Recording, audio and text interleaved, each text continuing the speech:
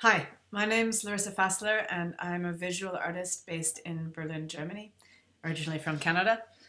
Um, today I'm going to talk about my practice, and I'm going to specifically focus on my work that deals with my relationship to the city of Paris. As I said, I'm based in Berlin. I've been living here now for 20 years. And for the past 15 years, I've been uh, developing an art practice that um, looks at the built environment of cities, specifically urban public space, uh, in an attempt to understand how public space affects users and inhabitants. And I, I borrow tools from urban anthropology, urban sociology, urban planning, architecture, model making. Um, and through sort of stealing from all these dis different disciplines, I've also developed my own uh, subjective systems based on my own body. So I will choose a site in the city and then I'll commit to it over uh, an extended period of time, weeks or even months. So, for example, the Gare in Paris.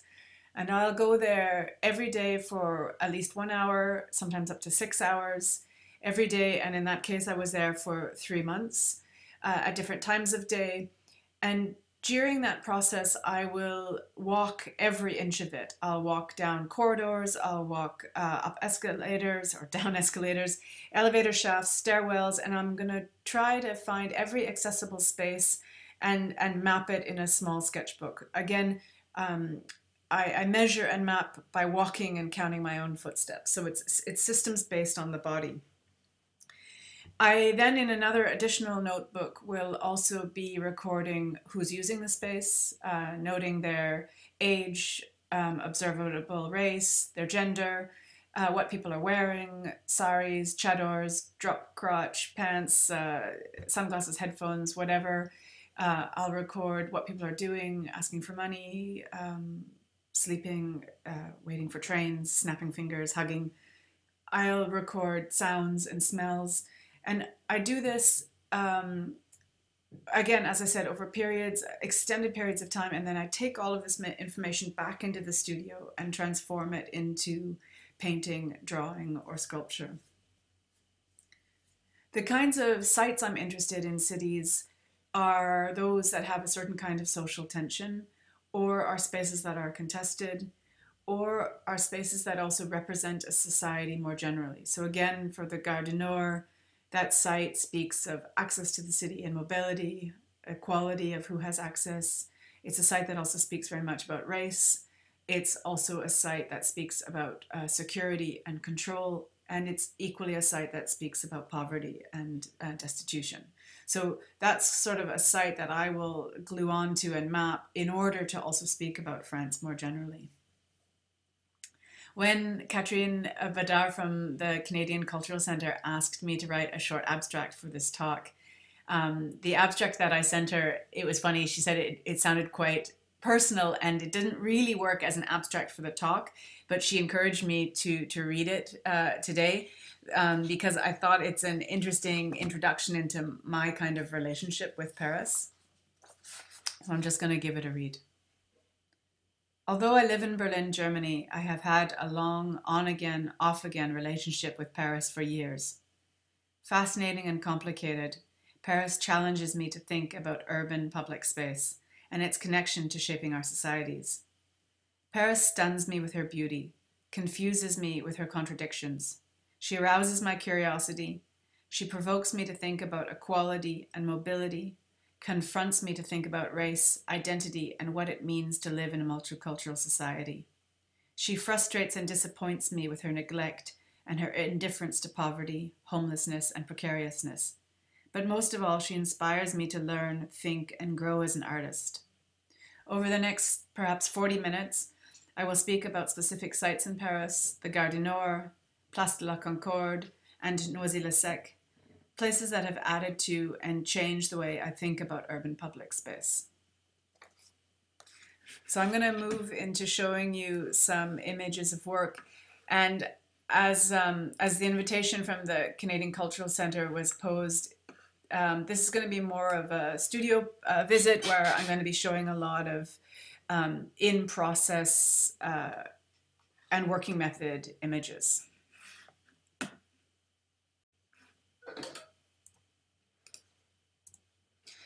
So the Nord.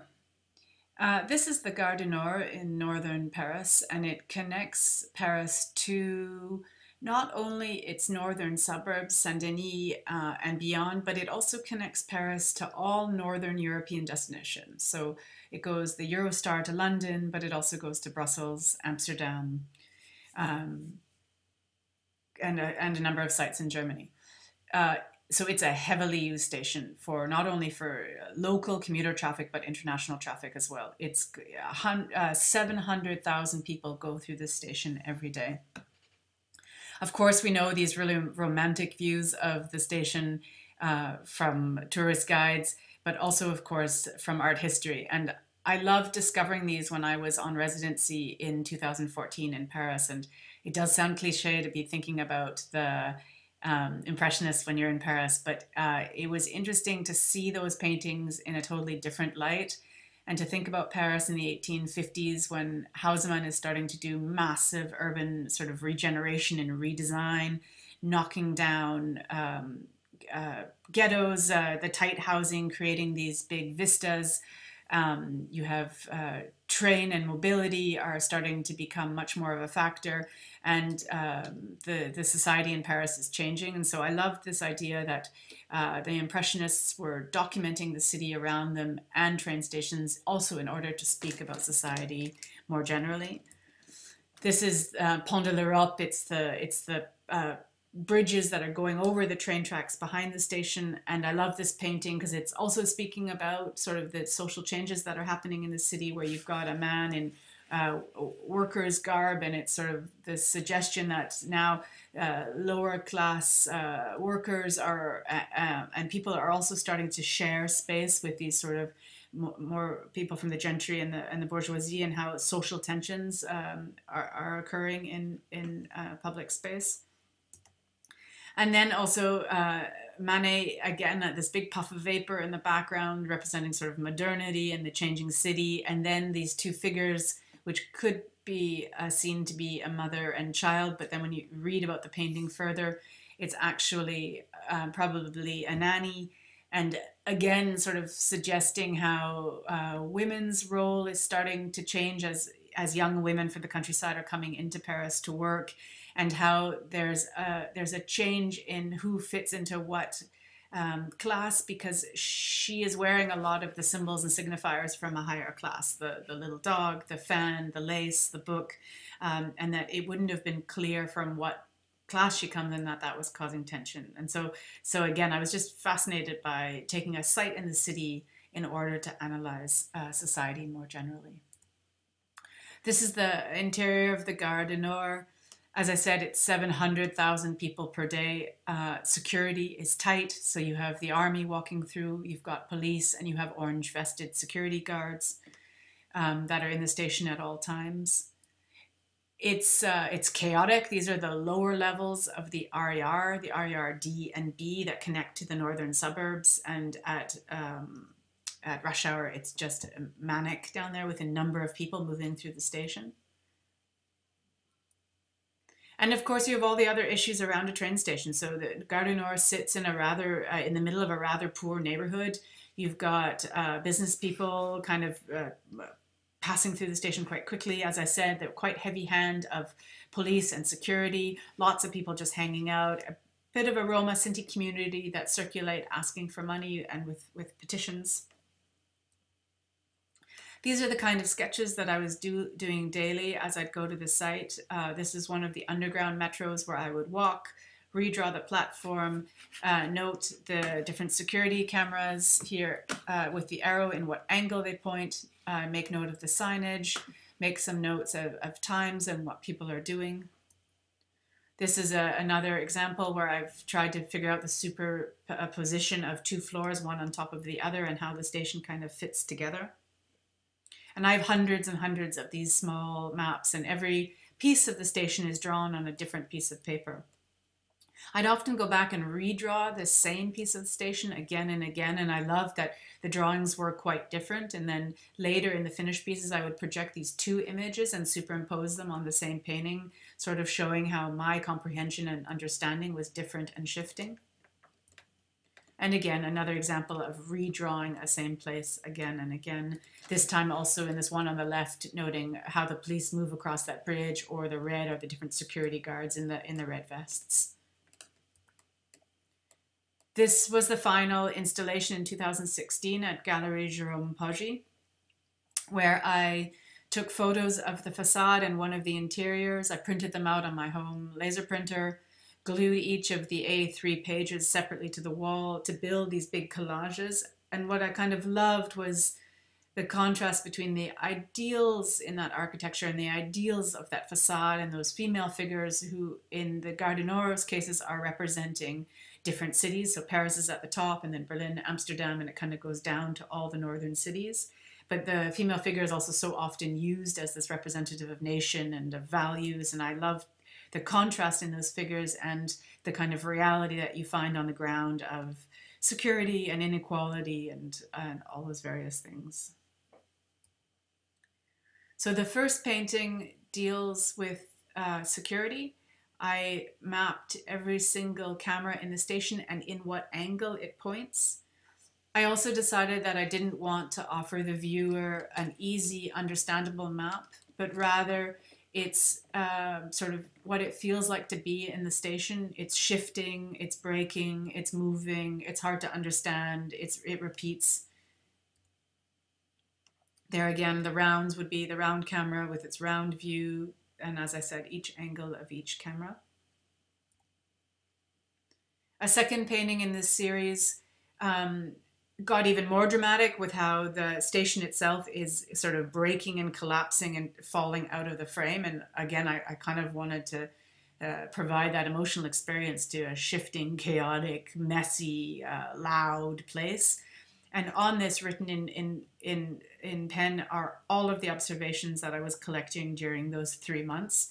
And because they're kind of hard to read on the screen, I'm just going to uh, read some of them for you. Two white girls sit on the ground on the bridge, bags, coins, water bottle, and books all over. Really strong smell of perfume, smell of piss in the wind. Police have taken someone into custody, a middle aged white guy. Three officers, two men, and a woman escort him to the station. Another young woman carrying a baby asking for money.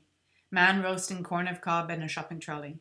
Black man in an electric wheelchair rolls by wearing a Superman t shirt and a cape.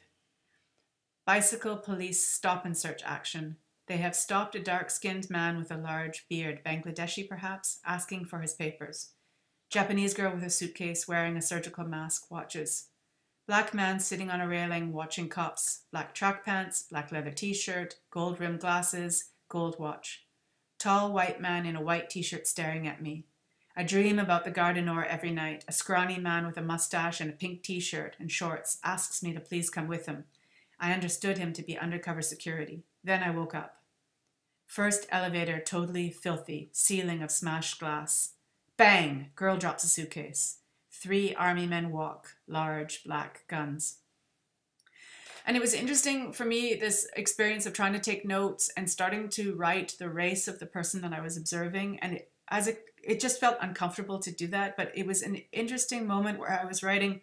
I started off writing man runs and man walks, but somehow that wasn't creating the visual of Gare which is a black space and absolutely connects to the black banlieue of northern Paris. And that is a really important aspect of this train station that um, it is a major point for a community of color to enter the city. And those are also security guards and cleaners, and everyone else has to work way out of the city and travel in. And that that trip into the city is often preceded by a bus ride or two bus rides so it takes forever to get into the city and kind of it raised for me those questions of um, access to the city and who has access and some of those structures.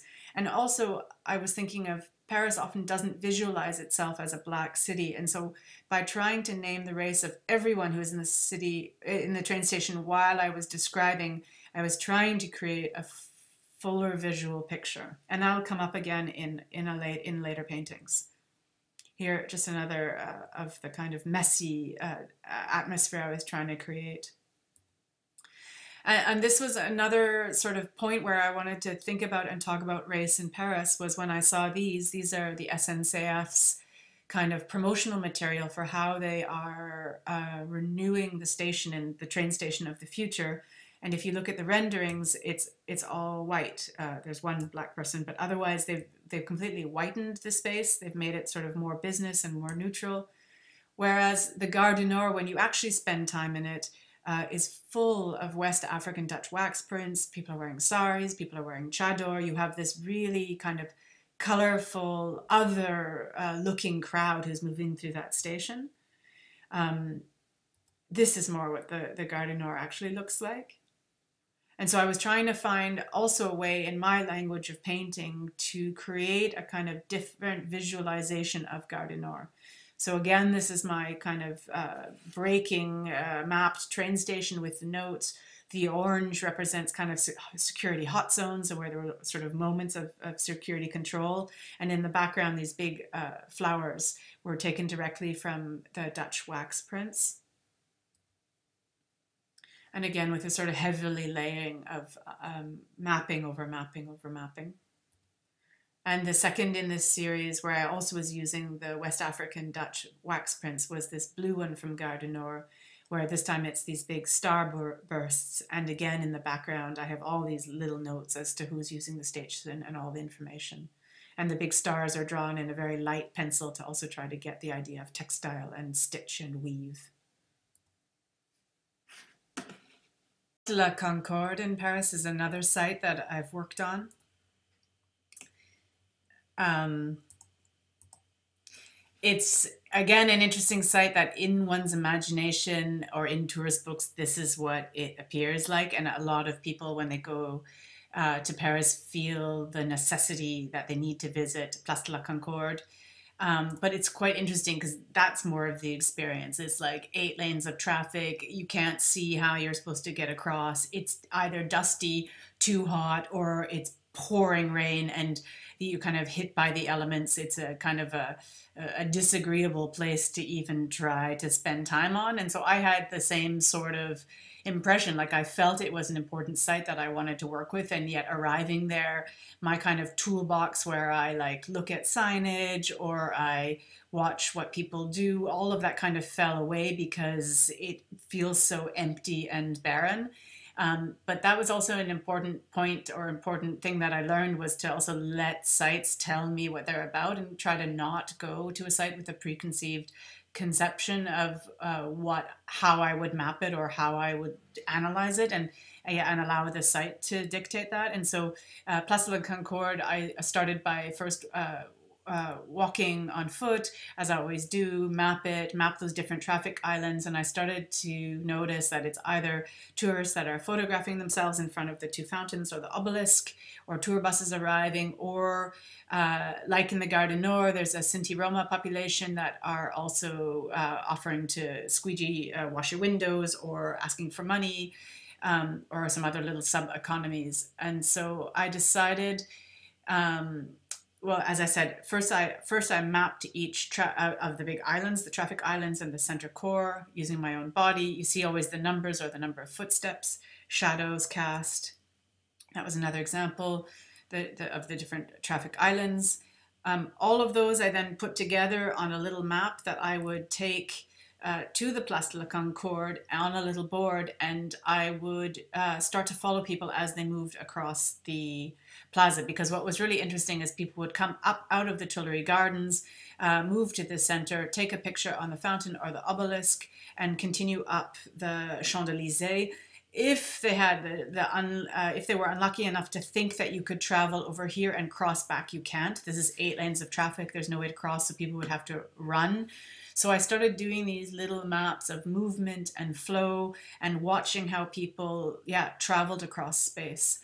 Uh, it was also interesting. This was a moment, these kind of colors here were a group of Roma teens and a police officer arrived, and I don't know what happened, but they started to chase them, and the kids went running across the traffic and into the Tuileries Gardens. And I kind of put the different colors of their raincoats there this was an interesting moment for me in my practice because later when I would talk about this drawing, I would often talk about that moment about kids running away from cops. And I thought, oh, I mean, no one else has access to that story. Why don't you write that? And these were actually done before the du paintings. And that's how all of that kind of narrative storytelling really developed for the du was out of me trying to explain some of these sketches. So this is an, one of the on-site sketch. And I would go again every day and do it for about an hour. There's the time at the top, 1220. Uh, to 1338 and dashed lines people running x's somebody standing still and all these kind of movement all of that information I then took back into the studio. I would use my projector and project it against the wall. This piece is almost two meters long and a meter 40 high, so much bigger than the body, and the viewer actually has to walk in front of it uh, to get the experience, and that's the accumulation of about a week's worth of movement across the plaza. I did it again, um, and this time I was also collecting uh, this is from 2017. Uh, there had been many, many political demonstrations in France, uh, and you could sense in the different kinds of political uh, demonstrations that were happening the polarization that was also occurring in French society. So you had huge rallies against abortion, you had counter rallies for access to abortion, you had uh, big rallies against uh, allowing the adoption of, uh, of gay couples to adopt a child, saying that a family is a mama and a papa and children. So some of those kind of slogans. Uh, you had big, uh, you had movements wanting back the the royal family. You had big demonstrations against the um, uh, police state or the uh, state of emergency that was in Paris at the time. So I was collecting all of the signage from the different moments, layering those in the background with pencil, uh, erasing them out. So you have these kind of layers of moment in time. And on top of that, putting the flows of people and the little moments. And I'm just going to again read some of the list of the this polarized signage that I was finding in demonstrations. Uh, this is translated from the French. Don't touch my France, Royal Alliance, We Are Anonymous, Equality of Rights, No More or No Less, Religions Unite Against Hate, I'm a Bloody Feminist, Stop TEFA, Freedom for Everyone, Equality with Men, Homophobes, France is Angry, State of Emergency equals Police State, All Born of a Man and a Woman, France needs children, not homosexuals, A family equals one papa, one mama, and children, I'm a lesbian and you can go fuck yourself. Equality against homophobia, abortion, my choice, my right, my freedom, take power back. It's possible. Um, I'm going to show one image here at FIAC just so you can see the scale of the works when they're finished. And then I'm also going to show uh, the, my exhibition. I'm not going to talk too much about the exhibition, but this was the 2016 exhibition that I did at the Canadian Cultural Centre in its former location um, because we also included the Gare du Nord studies in this show. So this was a room downstairs. The, the, the stairway going up, also a French work dealing with Les Halles. My big model of uh, Alexanderplatz Berlin and a Taksim Square drawing. And then here in the background, you can see the uh, studies um, from Place de la Concorde. The last piece I want to speak about, or the last body of work, is based on Noisy-le-Sec in Paris, where I was invited to do a residency in the late summer, fall of 2020. Uh, and then the exhibition has just opened and is up uh, now. Uh, we are in February. Um, Noisy-le-Sec, I was super intrigued as soon as I got the invitation from the art center. That's the little art center surrounded by these towers, which are all kind of new build um, social housing. Uh, Noisy-le-Sec is a suburb or a banlieue of Paris that sits up in the northwest, northeast uh, corner. Saint Denis, that whole district up at the top, is one of the poorest uh, districts or neighborhoods uh, in all of France. It is um, it's uh, has a major rail link to Paris that goes right through the Gare du Nord. So for me, it was also this interesting connection to past works.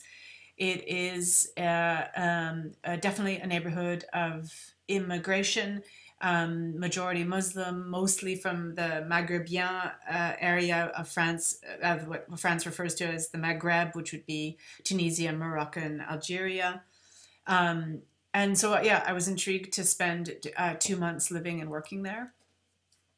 And immediately you're hit with this kind of a built environment, which is quite rude, quite strict. Uh, the the entire city was flattened after during the Second World War by American bombing because of the major rail links heading to the east and heading to Germany.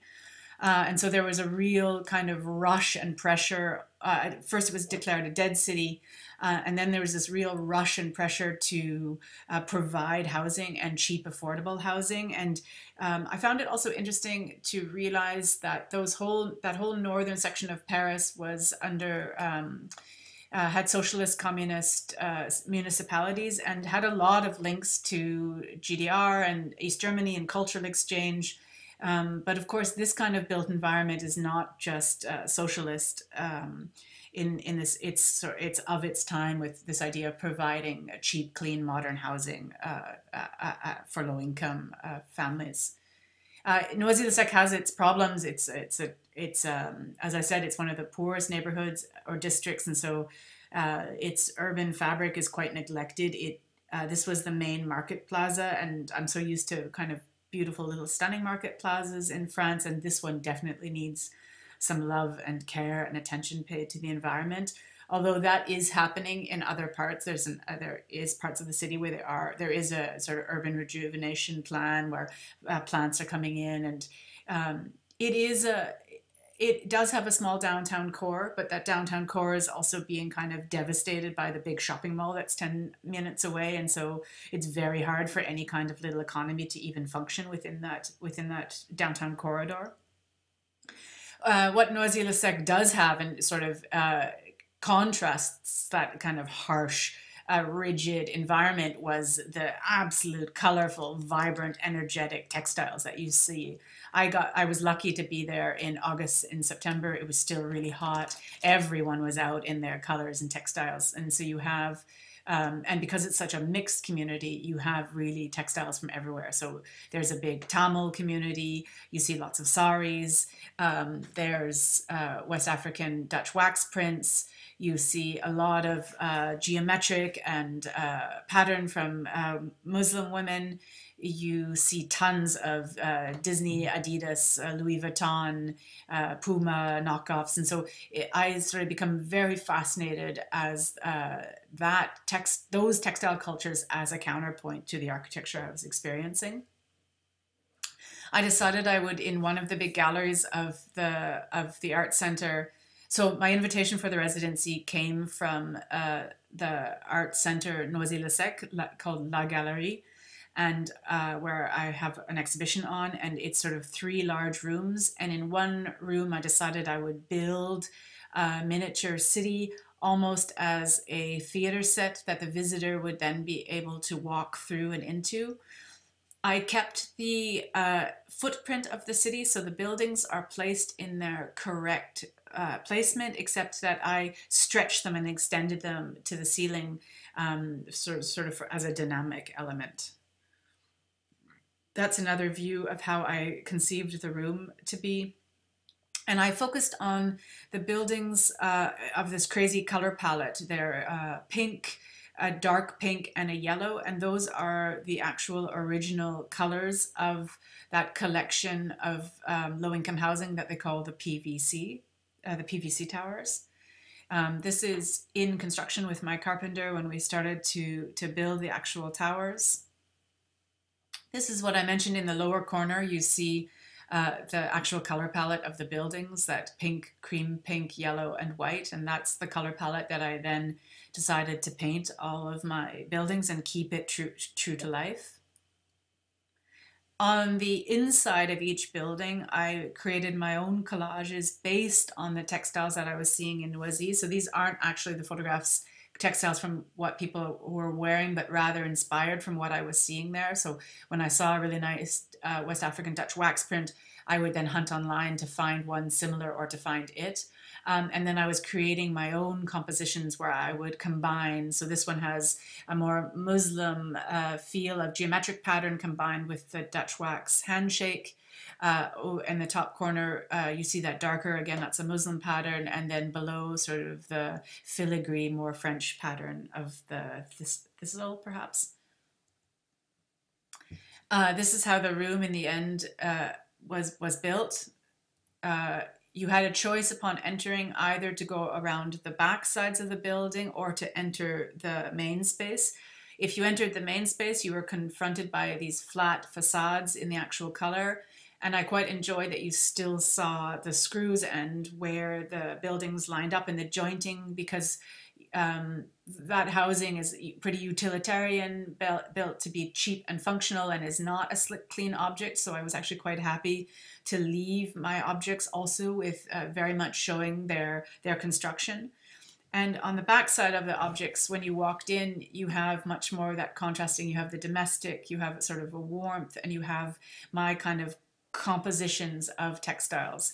That little sign up there is from uh, Berber tattoos that I saw on the women in Noisy-le-Sec who have the woman in her 70s who has the full uh, facial tattoos, West African prints, um, then you could move around the center and people from Noisy would probably be able to identify the different buildings, at least by their placement.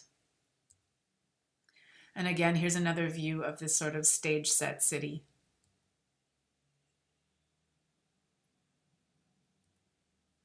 And here again, details from my collage composition of textiles where you see um, different horses, West African Dutch wax print, Louis Vuitton, um, you also have uh, the stars from West African Dutch wax uh, and the hands again. And here the filigree from more uh, French patterns, and then the logos that I saw tons of teens wearing the Fly Emirates, the Levi, the Adidas. And the last piece I, I want to finish on was a painting that you saw on the outside of this room. It's the painting from the Gare series. And what I was really excited about for the Noisy audience is that as I had done earlier, I had read you those notes of what, what you can find in the Gare du Nord paintings. But because my paintings, I wrote my notes in English and that would be rather challenging for an audience from Noisy. I was trying to create accessible, interesting translations of the paintings. And I decided that for this work, I was going to build a, that's the cat, I was going to build a soundscape and allow the viewer to have a different kind of reading of my notes. So uh, to finish the talk, um, I'm going to play that soundscape with this painting. And I particularly want to thank at this point um, Catherine Bédard and the CCC because um, they actually made this new work possible.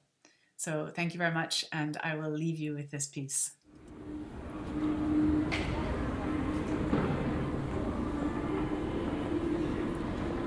Quai métro 5, 17h10. Annonce. Une femme tient la porte du train ouverte pour les autres passagers. Un train arrive. Une fille rit. Carreau orange, chaise en plastique bleu. Train dans 3 minutes. Le prochain Un homme vend des jouets. Le train arrive. Valise, parapluie, couinement des freins. Une guitare. Annonce. Deux sacs J'essaye d'être discrète pour passer inaperçue. Un groupe d'hommes, un homme court habillé entièrement en vert, soigneusement habillé en sari et d'autres vêtements. Beaucoup de monde sur le quai. Beaucoup de valises. Musique. Alarme. Beaucoup de parapluies noirs. Les portes du train s'ouvrent. Un homme à côté de moi au téléphone. Le son d'une boîte à rythme se propage. Une femme noire à ma gauche lit une lettre, un stylo à la main. Des applaudissements et des voix féminines et masculines rappent.